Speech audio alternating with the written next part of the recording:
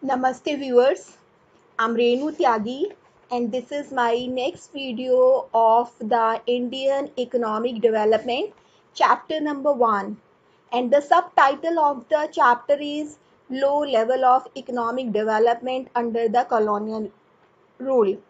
Children, this is chapter number 1 Indian Economy on the Eve of Independence and this is the subtitle that we will discuss today.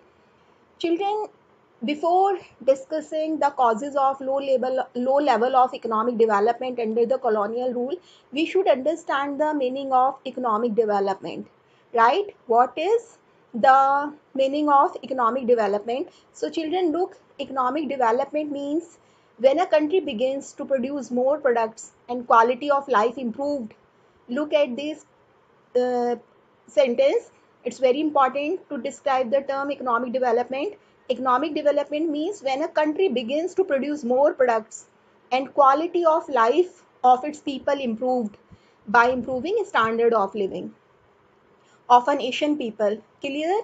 The meaning of economic development means when the quality of life of people improve by improving standard of living.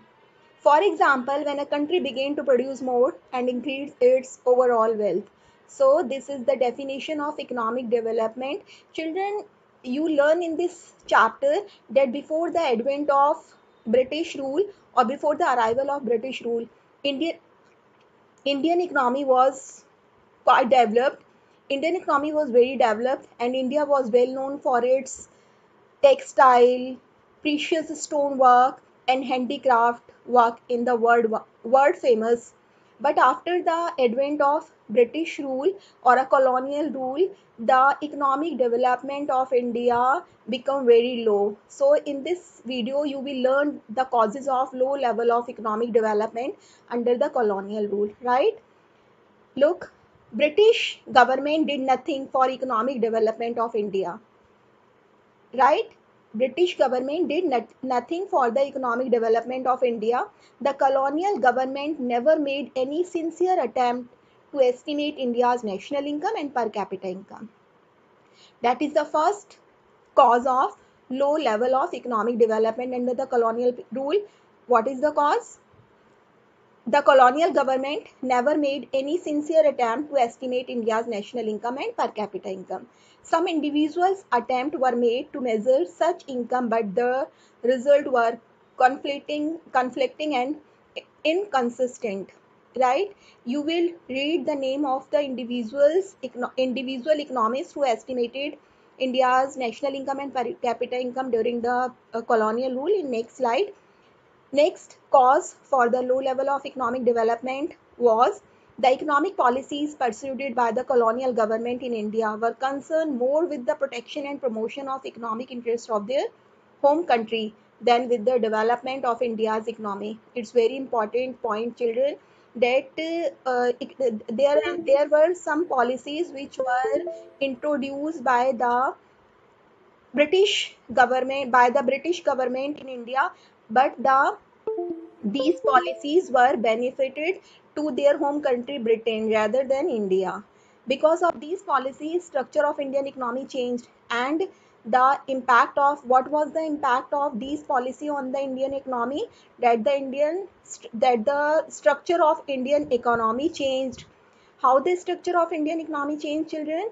Look trans these policies transformed the country into supplier of raw material and consumer of finished industrial product from britain right? That was the cause of these policies on the structure of Indian economy that the structure of Indian economy changed how the structure of Indian economy changed that before the advent of British rule India was supplier of raw material India was uh, worldwide famous for its handicraft work but now India become only the supplier of raw material and the products which were consumed in India they were made by the Britishers so transform the country into supplier of raw material and consumer of finished industrial product from Britain. So children, these were the causes of low level of economic development under the colonial period. Right? Now in this slide, you will read children these are the uh, you read in the previous slide that uh, uh, and children this is the uh, tabular presentation of the name of the economist who did estimate india's national income and per capita income during the colonial period. These are the name of the economist. Children this is the photograph of Dadabhai Naoroji who who first estim- who did first estimate india's per capita income. In 1868 right Dadabhai Naoroji was the first who did estimate india's per capita income in 1968 there are the names of some other economists who did estimate india's per capita income during the british rule. Number 1 Dadabhai Naoroji. Dada bhai naroji then uh, william digby william digby then Find- Findlay Shirras Findlay Shirras, then V.K.R.V. Rao, V.K. R.B. Roy, and B. Natarajan. Children, these are the names which were written in your textbook, so you are supposed to learn these names only. And this is the tabular presentation of all the names of the economists who did first estimate India's per capita income during the British rule. And this is the photograph, children, of Dadabhai Naoroji. This is the photograph of Dadabhai Naoroji, who first did estimate India's per capita income. And children, there was the famous book of Dadabhai Naoroji. Name of his book is Poverty and Un-British Rule in India. He wrote the book Poverty and Un-British Rule in India. And in this book, he brought attention to the draining of India's wealth into Britain. In his book, what was the name of Dadabhai Naoroji book? Poverty and Un-British Rule in India. And in this book, he brought attention to the draining of India's wealth into Britain. In it, he explained the wealth drain theory. In his book, Poverty and Un-British Rule in India, he explained the theory of wealth drain theory. So that's all children about this video and I hope the concept of low level of economic development under the British rule will be clear to all. So thank you very much for watching. Have a nice day.